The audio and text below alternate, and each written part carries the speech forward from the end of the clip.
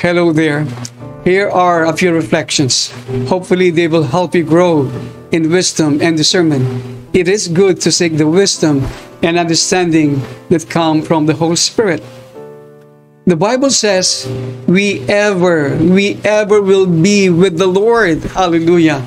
But do we really want to follow the Lamb wherever He goes? Or use Him to accomplish our own ambitions. If we are led away from dwelling in Christ at all times, we place ourselves in danger of being shaken out of the kingdom. From this point forward, everything in heaven and upon the earth is going to be shaken.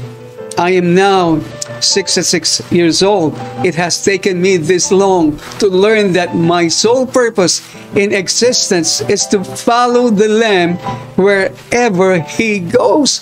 I have great peace with this. The woman is the glory of the man. In like manner, the New Jerusalem is the glory of Christ. Most of us are born with the ability to see physically.